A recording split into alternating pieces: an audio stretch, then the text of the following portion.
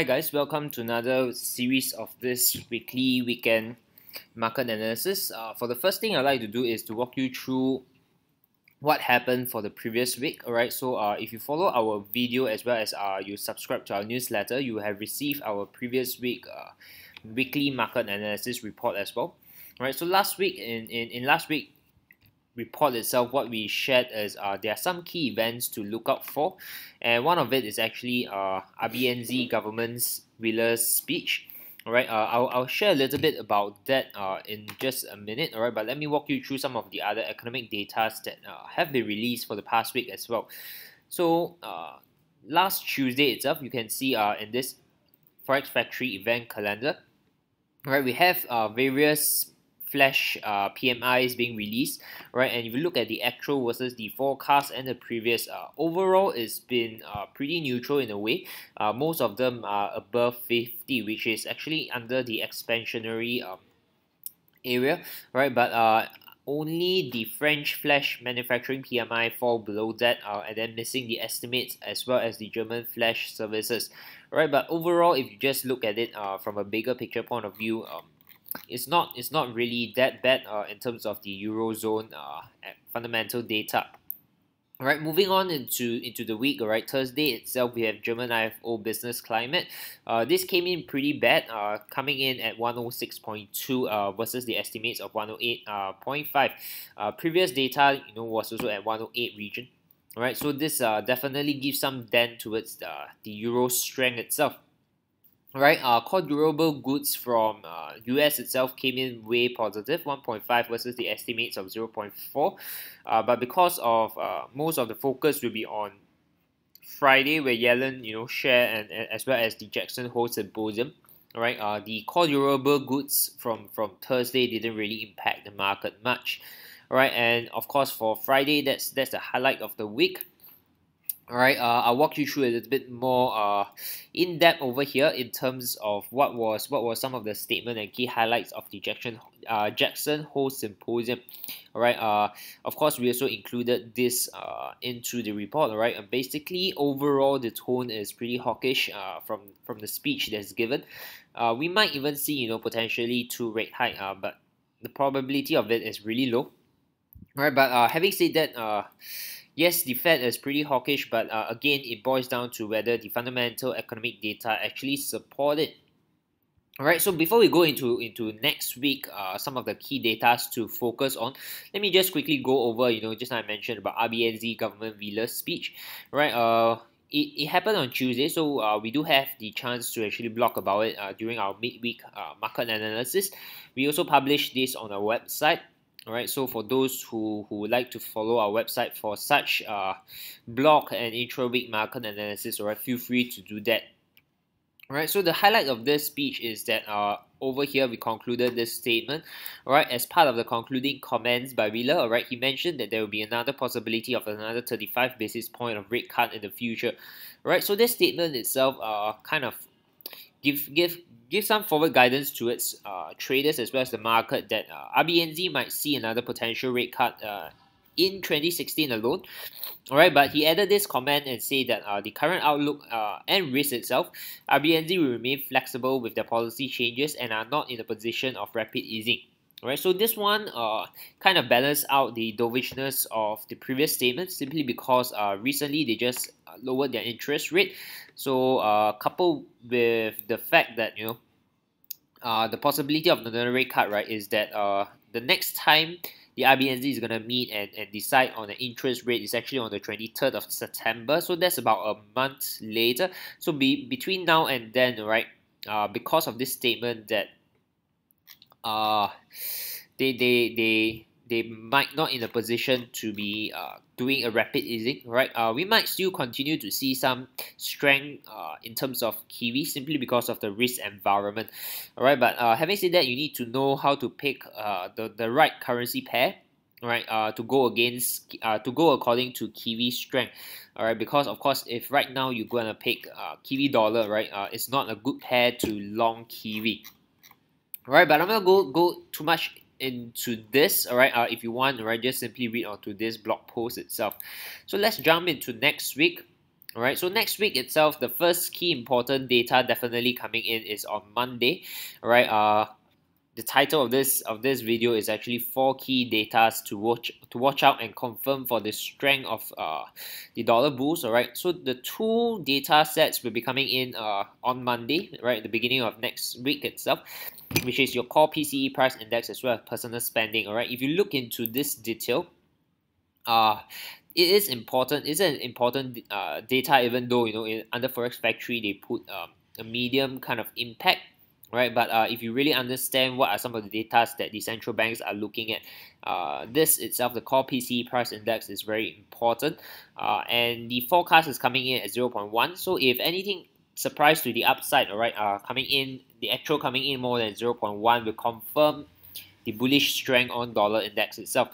But of course, if uh, this missing the estimates, all right, maybe coming in at zero or even negative territory, it might um, it might shift some of the sentiment towards a more bearish side of the dollar itself. Alright, so Monday itself, the key focus will be on these two data from the US.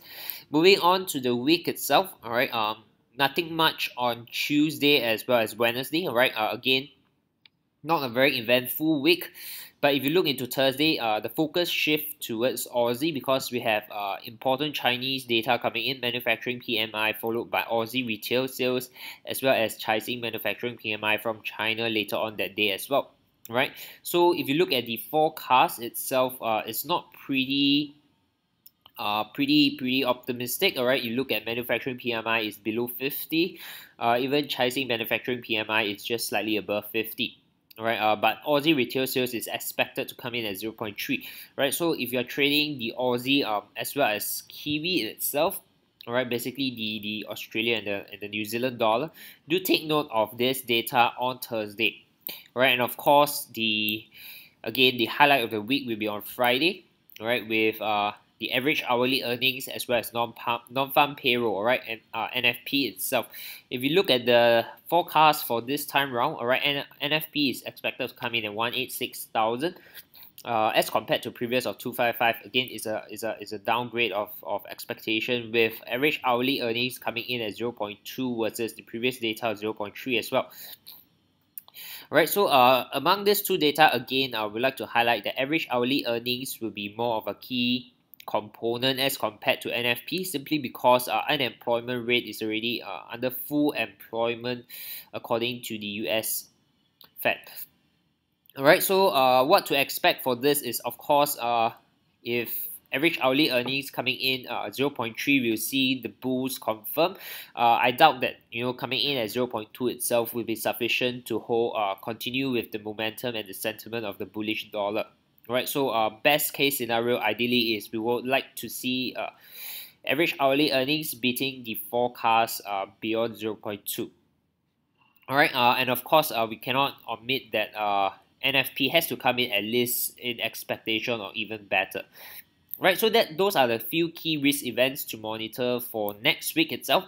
Let's jump into some of the markets as well as the charts to take a look at some of the opportunities that we can take. Alright, the first one will be your S&P 500. Alright, let's look at the equities market first. Alright, uh, last Friday you can see because of Yellen, right, we do see a dip in the S&P. But if you look out uh, and in, in terms of the overall picture, alright, we do still expect a decent retracement back towards the 38.2 Fibonacci uh, around the 2100s level for any long opportunity. Alright, right now um, it's not decent Alright, but uh, simply adopt uh, the wait and see for S&P itself. For German DAX itself, alright, uh, as expected, price has respected the previous resistance level and rejected. Currently, what it's doing is actually trading in between the previous resistance and support level. Alright, so right now, uh, there's not much of an opportunity that we can take, but wait for price to at least, you know, move towards the support or resistance area and look out for a nice price action uh, you know, a rejection of the resistance or a rejection of the support level for more confirmation to enter. Alright, for Hang Seng itself, uh, price is currently just below the support zone. Alright, we do see not some nice bearish candle. Uh, our own expectation is that price will event sorry will eventually drop and retrace back towards the previous support level Alright, which confluence with a 50% Fibonacci retracement, alright, uh, right over here highlighted in the red zone uh, before any upside uh, retest again. Alright, so uh, for Hang Seng itself, we do expect price to drop.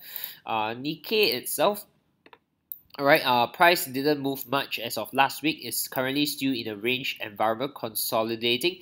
We do expect this weekly support level of uh, 16,000 to hold Alright, and if this support level does hold, alright, we do expect price to actually rally up towards the previous high, which confluence with Fibonacci extension of 127 and 141 as well. Alright, so look out for any long opportunity over here at the previous support level should price fall back down towards this area. Alright, so those, those are the four commodities pairs that we are looking out for. Alright, uh, overall, if you look at the of, of uh, in, in terms of the US, the Europe, as well as the Asian market. Uh, not much in terms of uh, indication as to whether is it going up or down. All right, but uh, pretty neutral, pretty mixed. Let's look at into the commodity commodities market.